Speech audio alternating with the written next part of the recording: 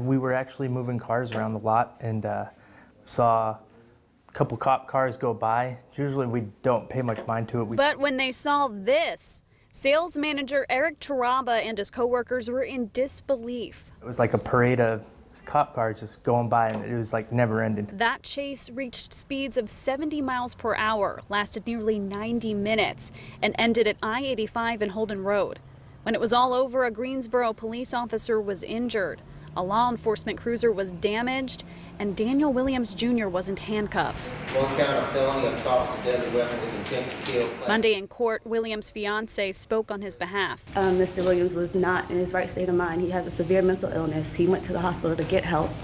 Um, he's done that multiple times and he gets scared. So when he was driving the car, he thought someone was after him and somebody was trying to kill him.